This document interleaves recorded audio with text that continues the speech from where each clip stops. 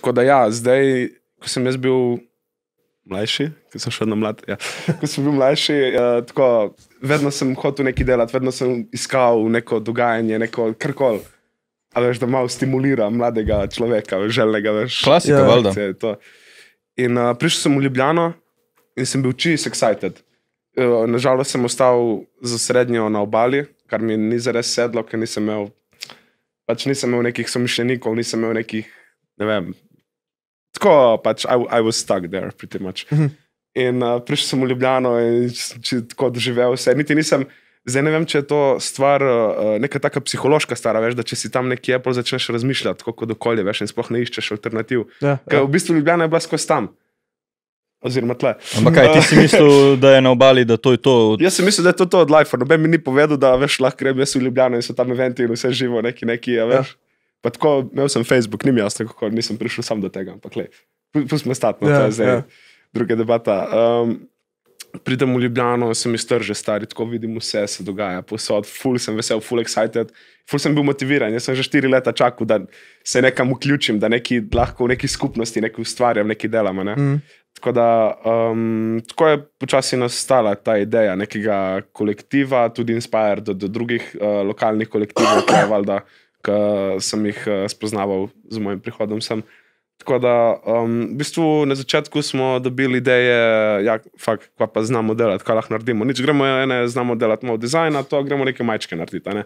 kot vsaka, vsak eh, kolektiv iz oblikovne. Ja, itak, ja. Recimo, Ja. tak, eh, zelo, zelo basic začetek, ki pa je bil nujen. Ne, ne moreš delati večjih stvari, če nisi uh, osnove dal skozi. ne. Tako Na, zač- na začetku smo v bolj teh nekih indie rock vodah, ki sem imel Aha. takrat dost, tudi v tej družbi.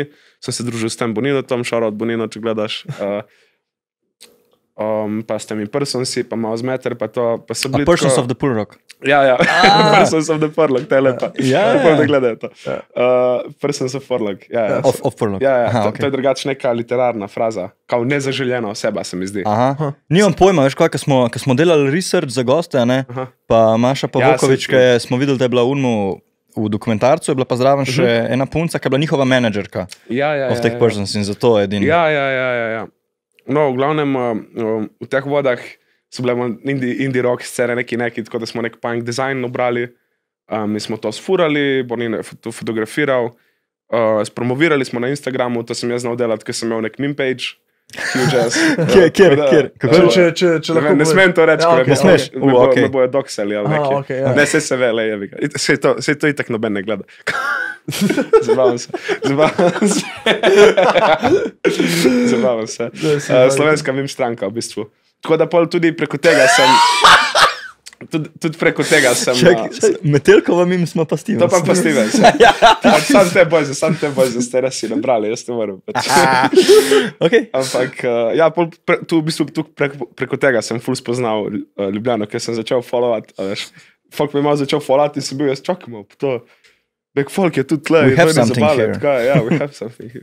Tako, nice. Um, Ampak se pravi, niste šli direktno takoj v musko, bolj je bil sam tako mal ja, dizajn, splošno ja, ja, ustvarjanje. Splošno, tako, najbolj nismo imeli, lifestyle, kao. ja, nismo imeli sploh, to ni bilo tako uh, podjetniško načrtovano, kot učijo na vem, raznih menedžerskih šolah. in tako. Mi smo bili mm. pač neki bojzi tam, hodili smo okoli in se ga prebijali, pritimači. pač, uh, a ne, pač to so te. Uh, sem na, na doknadu sem srednješolska leta, kako bi rekel, ker sem jih uh, kind of uh, pretrpel Z- na ja, obali, z- zgubil, zgubil na obali. Ja. Ja, Sej, ja. sej, ne bi bilo tako, ne, če ne bi bilo. Ja, valjda, valjda, valjda. Uh, a ne? Vse je tako, kot mora Tako biti. da, točno to je. Ja. Zdaj sem at peace, at peace of mind, vidiš le na podkastu, uh, tako vse kul. Cool. Nord, nord, Mrzlo piče, stari, to je to. pač.